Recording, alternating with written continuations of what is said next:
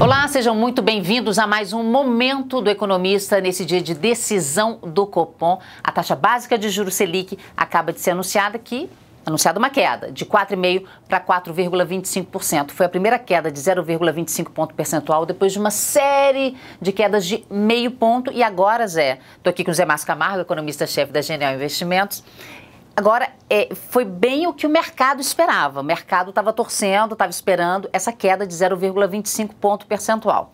Por que, que você acha que o governo, que o Banco Central, chegou à conclusão que essa baixa, nesse momento, seria boa?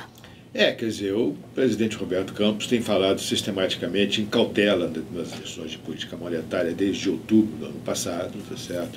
depois de ter sido reduzida a taxa de juros em dois pontos de porcentagem, de 6,5% para 4,5%. Ele tem dito que é necessário mais cautela, é necessário, nós não sabemos direito qual é a potência da política monetária depois de todas as reformas que foram feitas aí ao longo dos últimos três anos, três anos e meio, tá certo?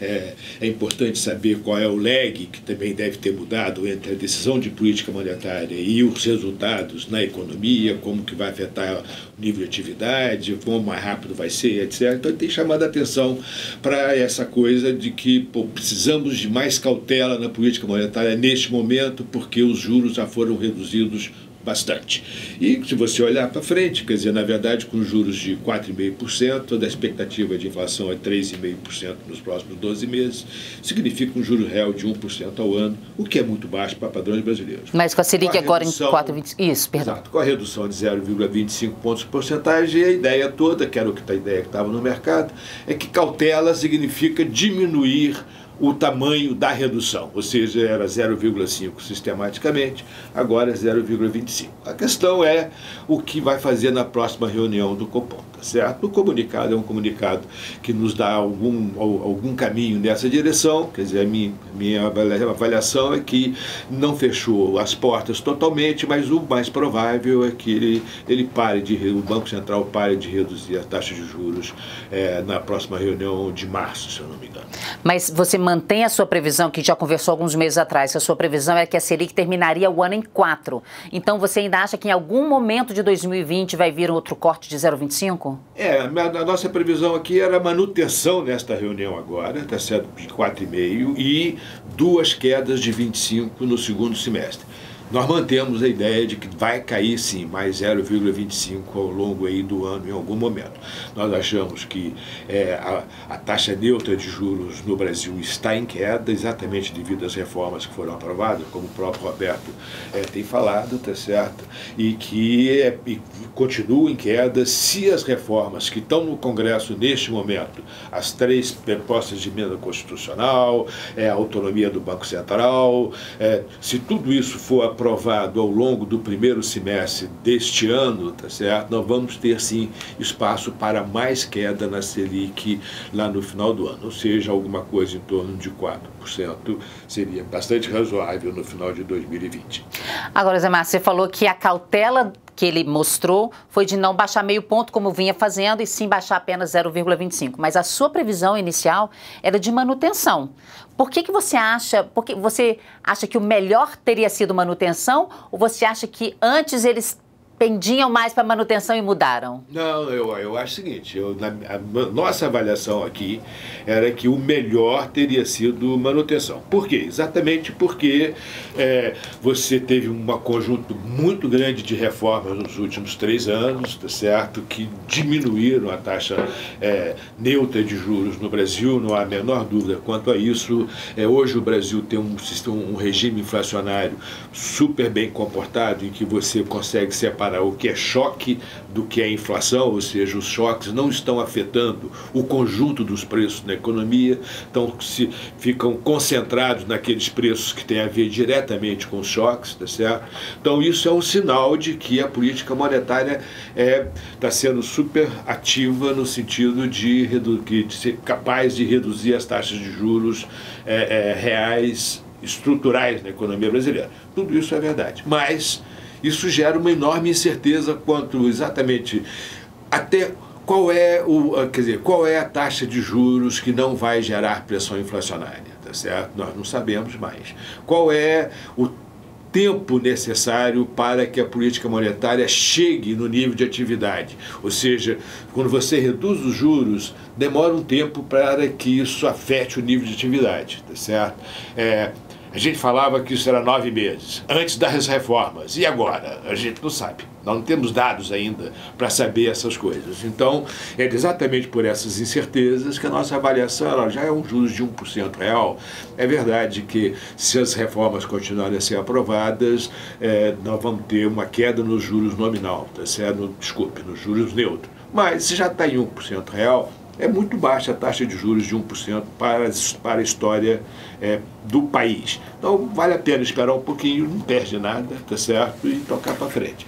É, agora, também reduzir em 0,25 não é nenhum nada fora de propósito, tá certo? É perfeitamente dentro é, de um cenário de cautela, como o próprio Roberto é, tem chamado a atenção. Quer dizer, é um cenário em que, olha, que ó, estamos reduzindo em 0,25, é menos do que a gente estava reduzindo antes. A gente pode parar na próxima reunião, esperar para ver o que, que vai acontecer. Perfeitamente razoável. Você acha que o surto de coronavírus teve alguma coisa a ver com a decisão? Pesou de alguma forma ou ainda está muito distante para mexer com os ânimos do Copom? Eu acho que pode ter pesado, não, não tenha sido decisivo, não acho que foi decisivo, acho pouco provável, mas eu acho que pode ter pesado sim. Quer dizer, eu acho que o, o surto do coronavírus ele tem dois efeitos, tá certo? Ele tem um efeito de é, gerar uma desvalorização do real, porque o dinheiro vai buscar, dizer, diante de uma incerteza, o dinheiro vai buscar certeza, né? quer dizer, então vai, quer dizer, foge em direção à moeda mais forte, a moeda menos incerta, que é o dólar. Tá então você diminui o investimento em reais e vai e aumenta o investimento em dólares. Isso significa uma valorização do dólar e uma desvalorização do real, o que em princípio é inflacionário, ou seja, aqueles produtos, os bens comerciáveis bens que você pode exportar, bens que são substitutos de importação, tá certo? É, vão aumentar de preço porque depende do dólar. Você tem que, né? quer dizer, é, o preço dele está diretamente ligado ao valor do dólar. Por outro lado, tá certo? É, o aparecimento do vírus é gera desaceleração da economia chinesa, desaceleração da economia mundial, o mundo vai crescer menos, a China vai crescer menos e, consequentemente, muito provavelmente o Brasil vai crescer menos do que o esperado. Isso é deflacionário. Então você tem um efeito inflacionário, o, o efeito deflacionário. Como eu já disse, é, é, o Brasil conseguiu separar o que é choque do que é inflação. O que está implícito aqui nessa conversa é o seguinte: olha, que você vai ter um choque é, na desvalorização cambial que não vai se espalhar para a inflação, porque é assim que tem sido o regime inflacionário nos últimos três anos.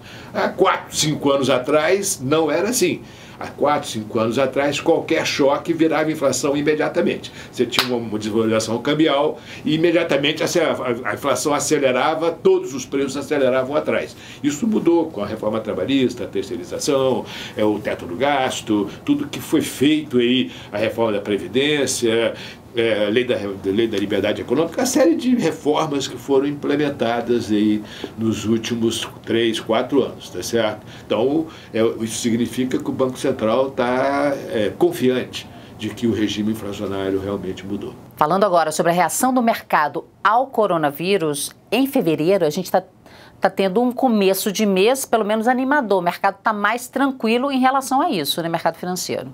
É, tem duas coisas importantes aí. A primeira coisa importante é que lá em janeiro, quando apareceu o coronavírus, é, é, você tem sempre a surpresa, e a surpresa nesse caso é obviamente negativa, os mercados reagiram muito mal, e em geral, nesse tipo de situação, os, os mercados acabam re, super reagindo. Né? Quer dizer, para baixo, vai muito mais para baixo do que faz sentido e para cima a mesma coisa. Né? Então, é, em janeiro foi um, um, mês em que os mercados caíram sistematicamente bastante, tá certo? Mais do que se justificaria é, dado o fato de ter, ter, aparecido o coronavírus, tá certo? Ainda que a gente não saiba qual vai ser o efeito do coronavírus no final, porque é, a gente, nós não sabemos ainda qual a dimensão que vai tomar essa coisa, é, o vírus continua se espalhando, o número de infectados continua aumentando, você continua tendo o número de mortes mortos, tá certo? Que os mortos continuam aumentando, diferentes países estão começando a reportar é, a, a, a, infecção, de, o aumento do número de infectados. Então, ainda que a gente não tenha é, é, é exatamente a dimensão de até onde vai vir isso aí, tá certo? Está começando a surgir notícias de que alguns cientistas já conseguem é, é, é, é fazer, já estão próximos de conseguir uma vacina, quer dizer, contra o vírus, né? quer dizer, que existe uma notícia de que alguns cientistas do Reino Unido, eles conseguiram é, resultados bastante positivos em animais, tá certo? E já em breve eles vão começar a testar em seres humanos, tá certo? Existe uma outra notícia de que cientistas chineses é, conseguiram utilizar é, dois remédios que é, controlaram o desenvolvimento do, do, vírus, ou seja, começam a surgir notícias de que, olha aí, tá, vai chegar, está perto de controlar a epidemia. O mercado, a reação do mercado, obviamente, como o mercado reagiu muito mal é, há 15 dias atrás, agora, com o aparecimento dessas notícias, o mercado olha e fala, opa, tá barato, vou comprar. Então, é, é mais ou menos isso que está acontecendo. Se agarrando nessa esperança, né? É. Então vamos torcer para dar tudo certo. Zé Márcio, muito obrigada, viu, pela sua presença aqui mais uma vez. A você, muitíssimo obrigado. Quem ainda não é inscrito no canal, aproveita esse momento, se inscreva no canal, clique no sininho para receber as notificações e deixe seu like. Obrigada, um beijo e até a próxima.